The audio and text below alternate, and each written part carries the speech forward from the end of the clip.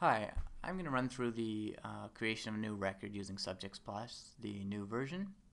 So let's go over to the admin. This is the splash screen. We have a records tab here. We can choose to create a new record or browse the existing ones, um, but there aren't really any existing ones yet, so let's just create a new one. We go in, we see the screen, uh, new record, we can add a description here. We'll call it test, test, test. And since that middle test is quite significant, we'll make it bold. Uh, we can add URL. Just start start typing. You see this history cooperative. We'll use that. Um, depending on the format type we choose, the location box will be different. So if we went print, it'll request a call number and it'll be a little smaller. If we do print with URL, uh, basically it'll give you a box to put in the URL and also a box to put in the call number. And this can be useful if, for instance, you're pointing to a catalog record, so I could put the call number of, you know, TN whatever, whatever, whatever, and here I would add the, the direct link into the catalog. But we just want a regular URL for this one. We can do the access restrictions, um, whether it's on campus only, off campus.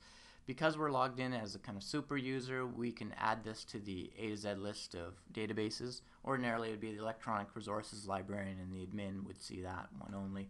And likewise, the display node is something that um, only the admin and the e-resources manager would see. And here you could put something like five simultaneous users only, or whatever. Here we have the C tags, which uh, is just a, a way of kind of um, slicing and dicing your record. So you can say that this one is full text and it has images and it has audio. And as a result, you can generate a list of all the items that have audio and this one would show up or that have full text or what have you. Um, and if we scroll down a bit, you, we can delete this location. We can also add another location for something that maybe has both a print and an online version. But we're not going to do that now. Um, over here we have this, the source types. Uh, this default source type, if, if it's an item that has a whole bunch, it'll be computed. Almanacs and yearbooks is just alphabetically at the top, so that's why it shows up. So I could say, okay, this new record, this history cooperative is a, uh, let's say it's an encyclopedia, which is not. Let's say it's uh, journals and magazines, like online journals. Um, and then we would assign subjects for it. So we've only got one subject so far, so we would add general.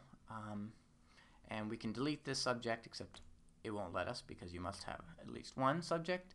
You can do a um, the source override if the default source type is journal magazines, but you know in in some particular subject you don't want it to be called that.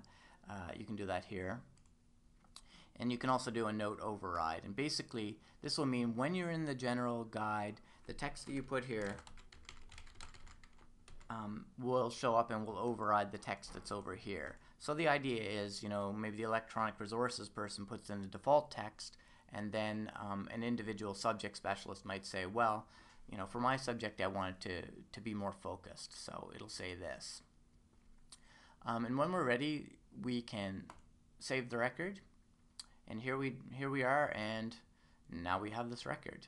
And you notice this is uh, highlighted green because it has a description override and, uh, that's essentially it. Now if we go over to the records browse screen, which is going to be a little messed up because it's used to a wider screen, if we go to the letter N, uh, we will see our new record. And you know, ordinarily there would be hundreds and hundreds of records in here, and we can see all the ones that are restricted, uh, all the ones that are free, um, meaning there are no restrictions, and new record file. So this is what I was talking about with the slicing and dicing. Um, of your records from the administrative side. So that, and then the other thing you can do is you can search. So uh, it's it's got the autocomplete, and as we're typing, it shows. So our new record, this will take us into that record again. And that's it. Thank you.